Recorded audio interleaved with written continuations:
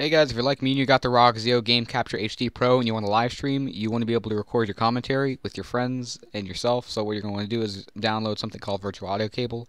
You're going to want to open up the Virtual Audio Cable Manager right there, and you're going to set it for two cables, and then you're going to want to use that right there, little um, uh, VS cable. You're going to open three of those, and then you're going to use this diagram right here, this little image, and you're going to want to set all of them. The line up is going to be for the first one. You're going to want to set it for the microphone in wave out line 1 second one line 2 wave in and then wave out is line 1 and for the last one you're going to do line 2 for in and speakers wave out. In my case I'm using the Turtle Beach PX22 I'm going to upload this on a push link and put it in the description so you can look at it save it for whenever you need to use it for reference so you want to open up the program for it, and you want to open up TeamSpeak. I'm using TeamSpeak. You're going to want to set the playback options for line 2 in it, and you're just going to save that.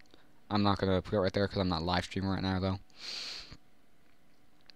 So, if you're done with that, you want to make sure you have the Roxio Game Capture program up, and you're going to want to go to the options and bring up the live stream tab, and there's going to be a little drop down menu for audio device, and you're going to want to choose line 1. And you just click OK. And uh, it should be instant. You're also going to want to click Start on all the little windows to get them running. And that is it.